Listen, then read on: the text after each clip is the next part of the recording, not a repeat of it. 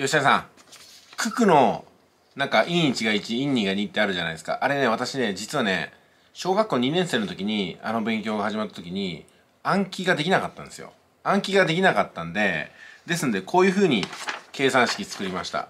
まず1の段なんですけども、1×1、1×2 ってあるじゃないですか。ちょっと見えますかね？ぼやけてますね。で、1×3 ってあるじゃないですか。これは、こっち側の数字がそのまま答えになるっていう風に考えたんですよ。で、1×9 はこっちの筋だけ見ときゃいいんで9だよねって感じです。だから計算したわけじゃなくって、こっちを読んでいったんですよね。で、2の段ですけども、2×1 が2っていうのはわかる。でも 2×2 っていうのは何かっていうと、2たす2なんだなって考えたんですよ。変換したんですよね。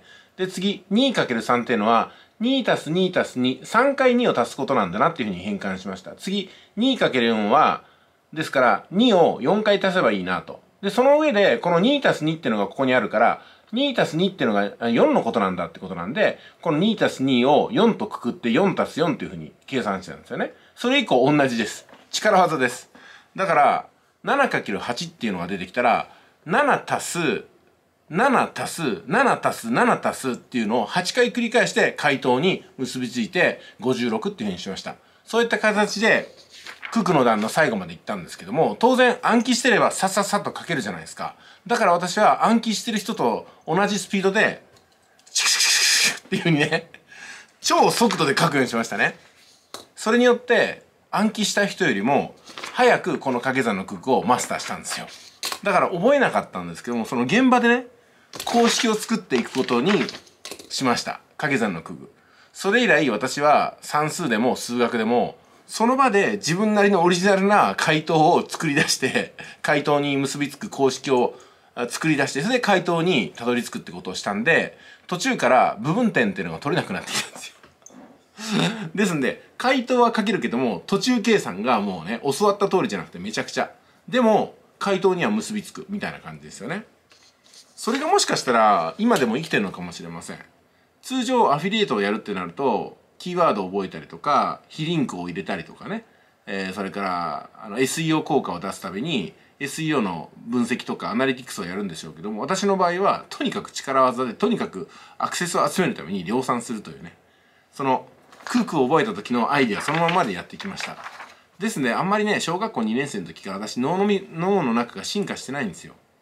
で、教わったことを、教わった通りにやるところもありますけども、どっちかっていうと、めんどくせえ、もう俺なりのやり方でやるぜみたいな感じで突破してきたかなと思います。これが私のね、九九の覚え方ですね。今ではね、やっぱりほとんどのことが暗記で済むんだなっていうふうに気づいたんで、その場で回答を導き出すんじゃなくて、そんな手間をかけるんじゃなくて、ほぼ暗記をすることで型がつくかなと思ったんで、暗記をすることにしましたね。そうなると、ものすごくね、やりやすくなりました。暗記ってのが簡単です。で、今その暗記っていうのも検索によって取り出せるって時代になってくると、暗記すらしなくていいんでね、えー、私はやっぱり頭を今使ってないですよね。あの、ほとんど問題が起きたら検索して解決する。誰にも相談せずに、誰にも教わらずに検索して回答を出す。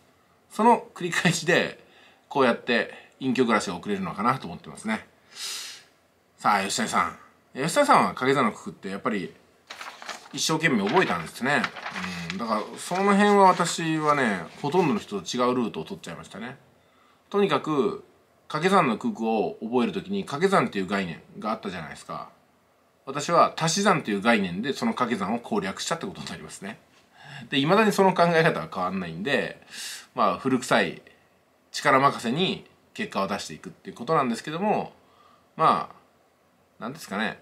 自由に暮らしていこうと思ったらそれでもいいのかなと思います。当然ですけどもそれからのいわゆる試験ってやつも全部同じですね。その場で編み出したっていう感じです。うん。だからあんまりその覚えてきたことを使ったりとか、えー、試験突破するために何かを覚えるってことはねやんなかったですね。大学受験の時ぐらいですかね。大学受験の時にほとんどの問題は暗記することによって回答できるっていうのはねあの予備校の先生から教わってなんでだろうと思ったんですよ。そしたらあの大体試験問題っていうのは過去問から出てるよと。あそうなの？みたいなね。毎年出る問題が誰でも解ける問題。3年に一度もしくは2年に一度出る問題っていうのがまあちょっと勉強した人ができる問題。そして5年とか10年に一度出てくる問題は難しい問題。時間がある順番に毎年出る問題から手をつけていくことで、まあ、そこそこの大学が通りますと。で数年に一度出てくる問題を攻略することによって普通の大学は通ります。普通の大学というのは東京大学京都大学これ以外の大学です。そして5年に一度とか10年に一度のレア問題。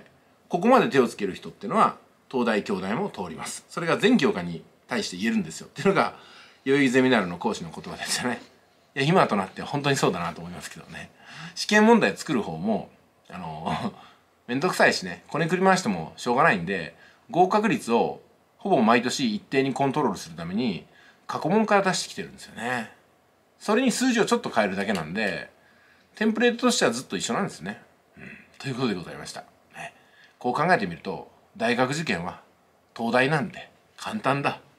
バカとブスこそ東大に行け。いってらっしゃい。